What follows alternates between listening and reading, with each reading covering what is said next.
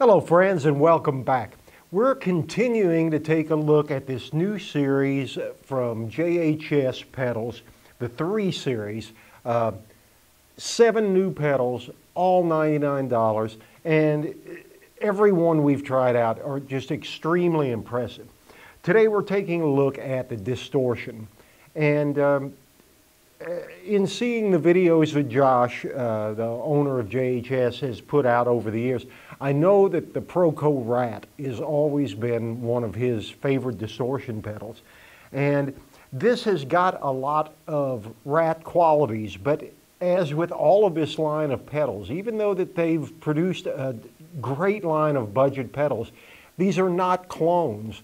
Uh, he has said himself that in any circuitry that they have duplicated, they've changed enough things to either give it some, you know, added features, some different voicings, um, just a lot of things that you can do with this. Simple pedals with an on and off switch, one toggle switch, three controls.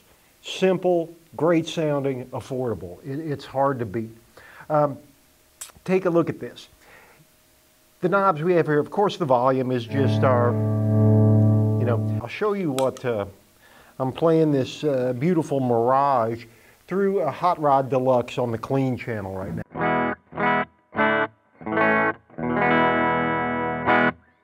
And so that's our bass line here. Okay, kick this on. I've got things here, uh, the filter on here is kind of reminiscent of what you had on the Rat. It is not a roll-off tone control. It's more of an EQ sweep of different frequencies to just accentuate different parts of the spectrum.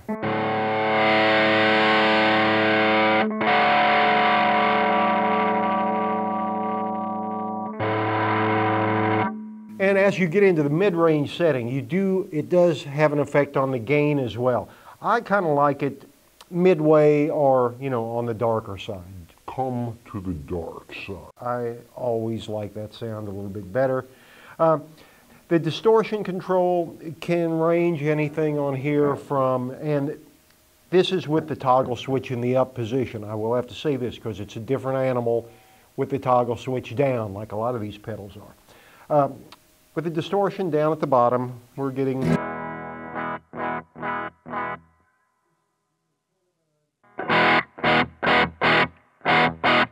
some nice crunch there.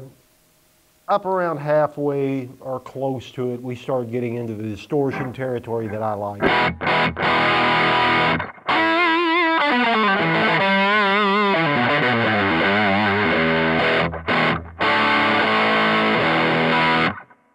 And one of the things that I do like about the way they voice this is whether you go to the dark end or the bright end, a lot of distortion pedals can get really flubbery, that's a technical term, for that um, nastiness you get when you're playing your low E string high up on the neck. Even on the neck pickup here, this pedal stays tight. That can get really nasty with some distortion pedals. On the lead pickup,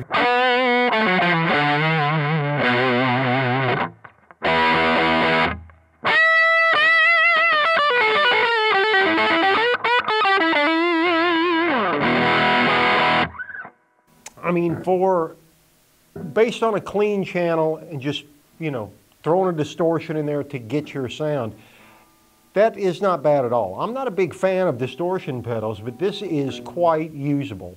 Um, the other thing I like about it is a lot of pedals, I find a disconnect between what you're putting into them and what you're getting out. And even if I like the sound, the feel of playing it is just not natural to me and it kind of affects my playing. On here, it's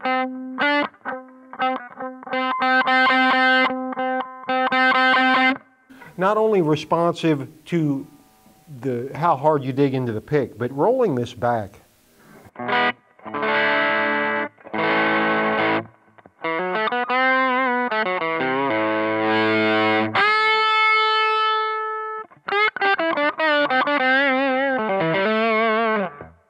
much more of a natural gain structure than you get out of a lot of pedals. I definitely appreciate that. Okay, now down in the bottom setting, which says gain, so you know in Josh's world, you're going to get something there. And what we get here, a little bit of a drop in volume because we've got a lot of compression happening here. Compression, more saturation, it's not getting buzzy or anything, but a lot more harmonic overtones and a lot of compression here. This is a lot of fun to play lead in this setting.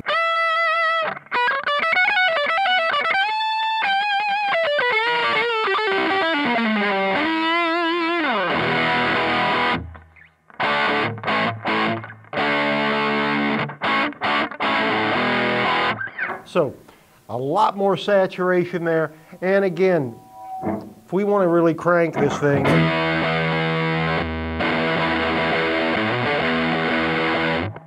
you can almost get into fuzz territory with this. Um, it's not where I would go with it, but you've got a lot of range on this. Now, the other thing to look at with a distortion pedal is what do we get when we feed it into an amp that's already in that sweet spot where it's just about to get crunchy. I'm going to switch this Hot Rod Deluxe over to the gain channel with a moderate amount of gain and we'll see how the distortion reacts to that. Okay, so here I am on a moderately crunchy setting.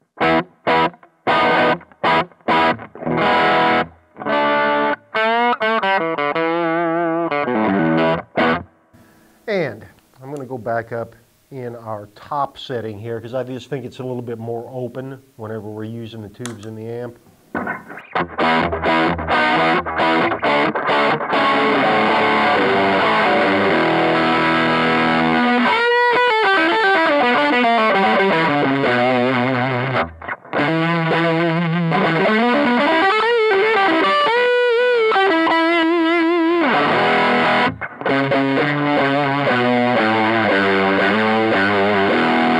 Still not getting flubbery down on the on that low E string up high.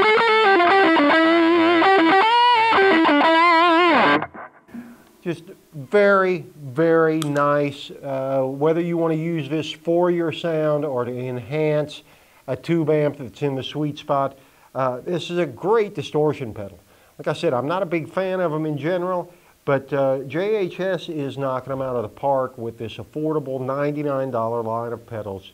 Um, this is it, JHS 3 Series Distortion. So if you got any questions on this pedal, any other pedal, guitars, basses, amps, gear in general, give the guys at moreguitars.com a call. They are the experts on every brand they sell, and it's their mission to set you up with the perfect gear for your needs. So give them a call today. Follow us on YouTube, Facebook, all the social media junk, and we'll see you next time. Have a great day.